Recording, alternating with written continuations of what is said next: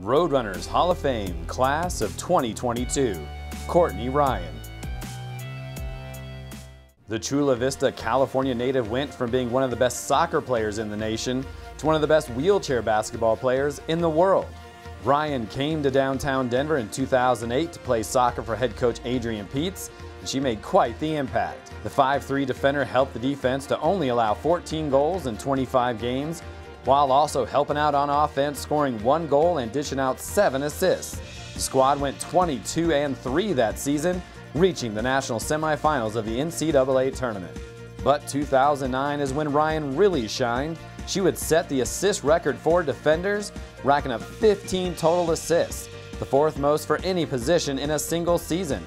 That team went 21 1 2 while going undefeated at 16 0 in conference play. Ryan would earn All America first team honors for her spectacular season.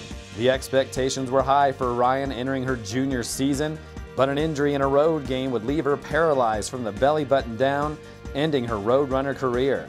Soon, Ryan would find wheelchair basketball and ride that passion to a bronze medal at the 2021 Paralympics for Team USA. She still ranks fourth in Roadrunners history for assists per game and is still tied for eighth all time in assists despite just playing two and a half years. Courtney Ryan, Roadrunners Hall of Fame, Class of 2022.